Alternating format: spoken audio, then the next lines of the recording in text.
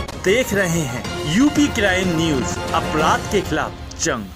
जनपद संभल में दिव्यांग को पीटने के मामले में पुलिस प्रशासन आया बैकफुट पर। मामला मीडिया में हाईलाइट होने के बाद कोतवाली पुलिस को एफआईआर के आदेश, मोहम्मद मियाँ फरार पुलिस लगी ढूँढने में। संभल विकलांग की पिटाई, खुलेआम गुंडागर्दी, यूपी क्राइम न्यूज़ पर खबर चलने के बाद बीजेपी नेता मोहम्मद मियाँ पर मुकदमा दर्ज हो गया है। अजमोली थाने का यह नेता है history sheeter. SP Sambhal Yamuna Prasad के निर्देश पर पुलिस लगी आरोपी बीजेपी नेता मोहम्मद मियाँ की तलाश में। संभल सदर कोतवाली का था मामला। परिसर में आ, कल एक व्यक्ति किसी दिव्यांग व्यक्ति को पीट रहा था जिसका वीडियो वायरल हुआ था। इसमें मुकदमा दर्ज कर लिया गया है और विधिक कार्रवाई की जा रही है।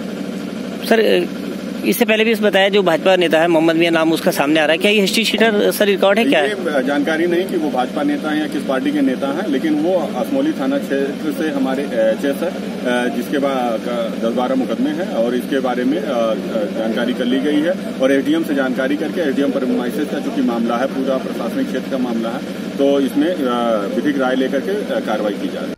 संभल से bureau report UP crime news.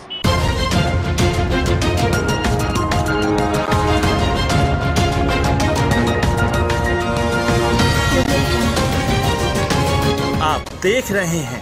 UP crime news अपराध के खिलाफ जंग।